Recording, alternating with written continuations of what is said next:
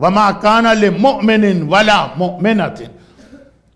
जब ये बैत हो रही, पैगंबर ने कहा कि ये खाली, विलायती अली खाली मर्दों के लिए नहीं है, औरतों के लिए भी है तो मर्द भी बैत करेंगे। और वन बाय वन हर औरत भी आकर अली के हाथ पर बैत करेगी।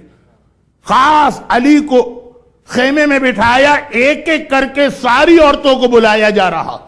ये सब हज से वापस आ रहे हैं। हज में इंसान यूजुअली अपनी फैमिली के साथ जाता। खुद अल्लाह के रसूल, अल्लाह के रसूल की हैबिट थी कि जब कभी ट्रैवलिंग करते थे अपनी एक वाइफ को लेके जाते थे।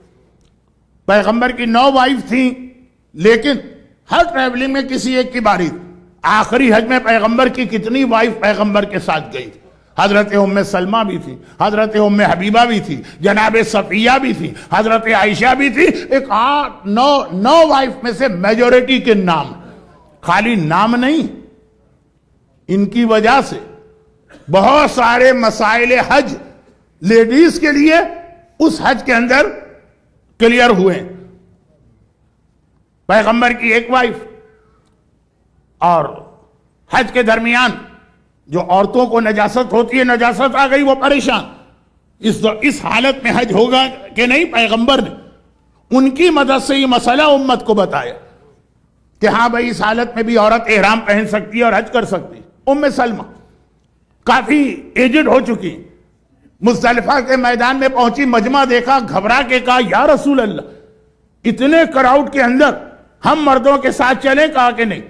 अल्लाह ने औरतों के लिए आसानी कर दी है, मर्द यहीं पे रहेंगे टिल सनराइज तुम औरतें पाँच मिनट ठहरो और आगे चले जाओ, जिस मसले पे आज ऑलमोस्ट सारी दुनिया के मोमिन अमल करते हैं। तो ये पैगंबर की कई वाइफ्स और हर एक के हवाले से अलग अलग अलग अलग एक वाकया आ रहा। लेकिन वो हज हज। मक्के ही में पढ़ता हूँ तो मज़ा आता है। यहाँ तो सिर्फ़ ये बात कहना कि इस मजमा गदीर में मर्दों के साथ औरतें भी थी और बराबर से थी।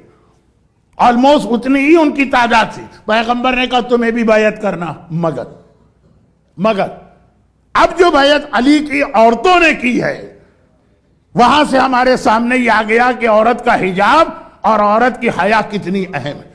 गजीर का ऐलान। हर एक से हाथ पे हाथ रख के बैत करवाई जा रही। लेकिन नामहरम से स्किन टू स्किन कांटेक्ट हराम है, ये हर एक को आज मालूम। जो अमल करें, जो अमल ना करें, सबको मालूम है ये मसला। पैगंबर ने तरीका बदल दिया। बैत होगी बैत नहीं बदली जाएगी। विलायत के ऐलान में कमी नहीं होगी। लेकिन विलायत का ऐलान, विलायत का ऐलान शरीयत की लिमिट्स के अंदर रहकर किया जाएगा। उधर नमाज़ की बात थी, इधर हिजाब की बात आई। अब बाज ने लिखा बल्कि मेजोरिटी ऑफ़ ओलमा ने लिखा कि पैगंबर ने पानी का एक बर्तन मंगाया, एक तरफ़ अली ने उस बर्तन में हाथ डाला, दूसरी जानब जो बैत करने वाली खातून आ रही। और ये कह रही हैं कि असबाह तो मौलाया, आज से आप मेरे मौला हो गए, इस पानी में दूसरी जानब वो खातून अपना हाथ रख रही है। ये अली की बैत अली कौन? अली कौन? अली वो है कि पैगंबर ने डिक्लेयर किया है कि अली इस उम्मत के बाप हैं। खास पैगंबर ने कहा, मैं और अली इस उम्मत के बाप हैं और मेरे मौला ने अपनी शहादत वाली रात, twenty first of Ramzan, nineteen नहीं, जरबत वाली रात नहीं, twenty first of Ramzan, Asbagh ibn Nubata से एक जुमला कहा था। अब टाइम नहीं है कि मैं डिटेल रिवायत पढ़ूं, इसलिए जल्दी जल्दी उसका खुलासा। क्या है असबक? कुरान और हदीस में जहाँ जहाँ वालिदैन की बात की गई कल रात की मजलिस का आखिर क्या था? वालिदैन का एक हक होता है मरने के बाद भी। वालिदैन। तो मौला ने कहा कि जहाँ जहाँ वालिदैन की बात हुई, उसमें सबसे पहले हम लोग आ रहे हैं। यानी ये जो कहा गया कि आके वालिदैन के लिए, जन्नत आराम है, उसमें हम शामिल है जो हमसे आँख हो जाए। जो हमारा हक अदा ना करे, वो इसमें आता है। तुम्हारे अपने वालिदैन बाद में आते हैं।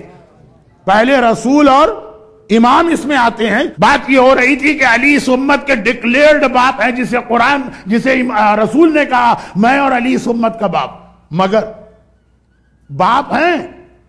मसला हिजाब, महरम और नामहरम, वो अपनी जगह पर। अली के हाथ पर हाथ रखकर ये औरत बैत नहीं कर सकती है। अली इसके बाप भी हैं, अली इसके इमाम भी हैं। अली इसके मौला भी हैं। लेकिन शरीयत अपनी जगह। जो हुक्म खुदा है, जाहिरी एतबार से।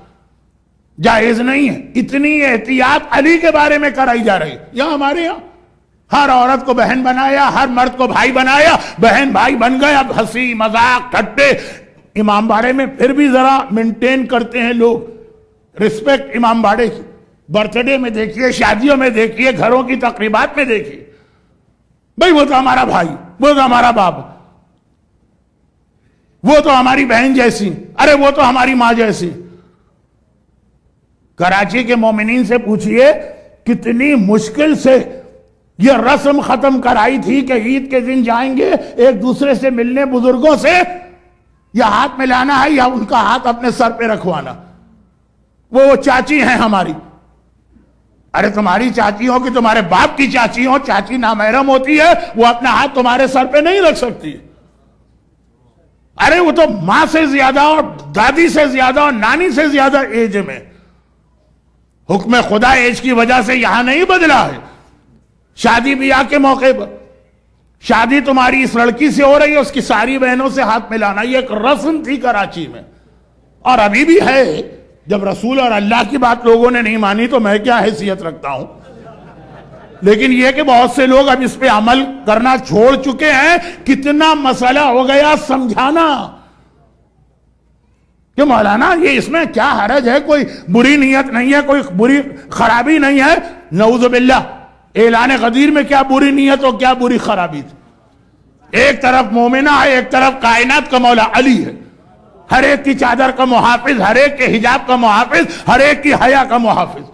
अली से ज़्यादा पाको पाकिजा इंसान किसी ने नहीं देखा। मैं कहूँ, तब भी कोई हैसियत नहीं है। अल्लाह कह दे कि नमा युरीदुल्लाबान को मुरिसा व तहरा हम तहीरा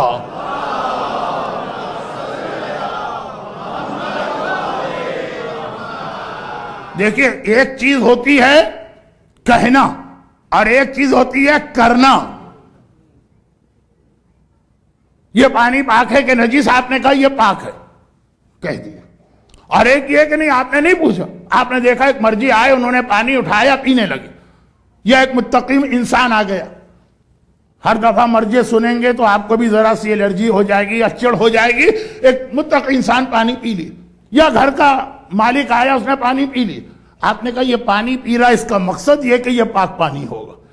ये भी शरीयत का एक मसला है कि कौल जबान से कह दे, पाक है, अमल ऐसी जगह वो इस्तेमाल करे उस चीज़ को, जैसे खाने पीने में। यहाँ अली की तहारत वो तहारत है कि अल्लाह ने कहा, हर तरह से इसे मुकम्मल करना। अल्लाह ने कलाम के ज़रिए भी कहा, आयत तो थी। अमल के ज़रिए भी कहा कि आम मस्जिद को नजिस करना हराम है। खाने खुदा की अहमियत तो बहुत ज़्यादा है। अली की विलादत काबे में करके बता दी कि देखो, इससे ज़्यादा पाक और पाकिजा इस कायनात में कोई नहीं है कि मैं अपने घर में इसकी विलादत का इंतज़ाम कर रहा हूँ।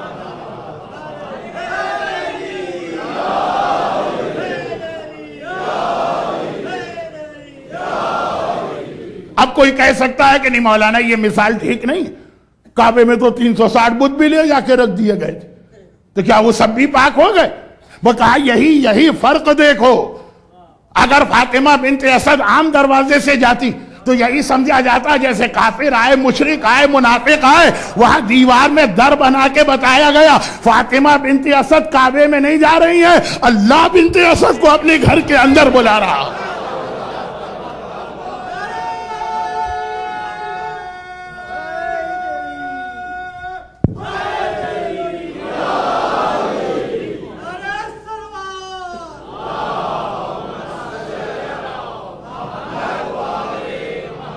लफ्ज तहारत छोटा पड़ जाता है जब अली की पाकिजगी की बात की जाती है।